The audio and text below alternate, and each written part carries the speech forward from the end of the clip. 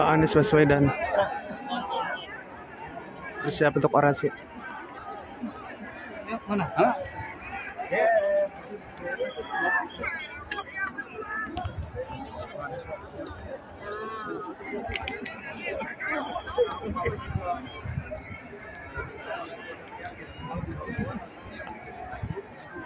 Saudara-saudara semua, kita di sini hadir untuk membela Palestina. Kita berkumpul di sebuah lapangan yang bukan namanya lapangan Monas. Ini namanya Medan Merdeka, menandai kemerdekaan yang kita raih lewat perjuangan. Oke? Jadi kita bicarain soal Palestina, setuju? Terus sekalian yang berkumpul di sini, saya ingin ajak kepada semua. Gini, duduk aja dulu semuanya, duduk. Duduk semua, biar yang belakang bisa lihat. Duduk, duduk, duduk. Duduk. Duduk, Bang depan duduk, biar yang belakang bisa lihat. depan duduk. Duduk. Duduk. Ayo diminta Ayo, duduk. Kita duduk. Diminta berdiri. Kita berdiri. Duduk. Saudara-saudara semua, duduk dulu. Saudara-saudara, kita semua membawa sal ini, betul tidak? Bawa sal ini.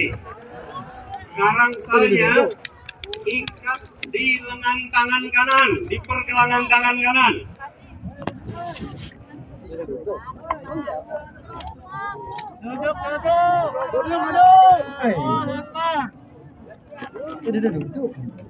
Ikat salnya di tangan kanan. Ikat seperti ini. Oke. Kepalkan tangan dan di sana ada bendera Palestina dan Indonesia. Oke. Tangan kiri pegang HP-nya. Nyalakan kameranya. Kita berkumpul di sini karena mengirimkan pesan kepada dunia. Bukan berkumpul di sini untuk kepentingan kita. Kita ingin dunia melihat bahwa dari sebuah negeri paling timur dikirimkan fajar kebangkitan Palestina. Ikatkan sal itu di lengan tangan kanan. Nyalakan HP-nya pakai tangan kiri. Rekam ini dan seperti dikatakan Ustadz Bahtiar Nasir tadi, rekam dan kemudian kirimkan ke seluruh sosial media. Biarkan dunia menyaksikan dari lapangan Medan Merdeka dikirimkan pesan kemerdekaan untuk Palestina. Allahu Akbar.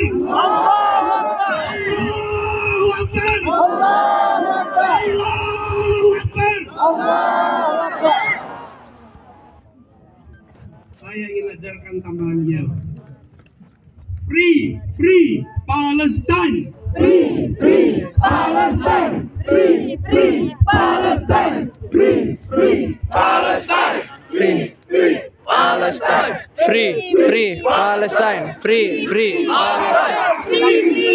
Biarkan suara rakyat yang mewarnai dunia bukan suara dari mikrofon ini. Rekam dengan kamera Anda semua. Free Palestine! Free, free Palestine! Free, free Palestine! Free, free Free, free Free, free Palestine. Free, free Saudara-saudara sekalian, kita mengirimkan pesan ini bukan untuk kita. Kita ingin dunia dengar dari tanah Indonesia kita mengatakan penolakan kepada penjajahan. Hey, hey, ho, ho. Hey, hey, ho, ho. Hey, hey, ho, ho. Hey, hey, ho, ho. Occupation no more. Occupation no more! Hey, hey, ho, ho. Hey, hey, ho, ho. Occupation no more. Occupation no more. Occupation no more. Occupation no more! Assalamualaikum warahmatullahi wabarakatuh. Waalaikumsalam Saudara-saudara sekalian, hari ini di bawah terik sinar matahari kita berkumpul di Medan Merdeka. Di bawah terik matahari kita merasakan Gaza yang merintih 30 hari. Penderitaan yang dirasakan keluarga-keluarga di sana. Tangisnya menggema melampaui hitungan kilometer jauhnya. Sampai ke rumah-rumah kita menyaksikan ibu-ibu yang harus menguburkan anaknya.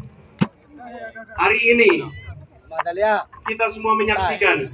Saya menyaksikan sebuah video yang kemarin saya lihat. Peristiwa di mana seorang anak terjebak di dalam rumah yang dindingnya hancur, yang tebingnya hancur. Lalu anak ini terkubur. Dan dalam rekaman itu, anak ini diangkat keluar. Lalu anak perempuan kira-kira berusia 9 tahun. Apa yang terjadi? Anak itu tanya kepada yang mengangkat, "Paman, apakah paman akan membawa saya ke kubur?" Anak itu mengira dia sudah meninggal. Lalu laki-laki yang mengangkat itu mengatakan, "Sayangku, tidak. Kau masih hidup dan kau masih cantik seperti rembulan." Subhanallah. La haula wala quwata illa billah. Ya Allah, Engkau buat dari apa hati orang-orang Gaza ini? Engkau buat dari tekad apa tekad orang-orang Gaza ini? Adakah hati yang selembut orang-orang di Gaza? Adakah hati yang setawakal orang-orang di Gaza? Ya Allah, kita bersaksi, tidak ada yang lebih lembut, tidak ada yang lebih tawakal daripada orang-orang di Gaza hari ini.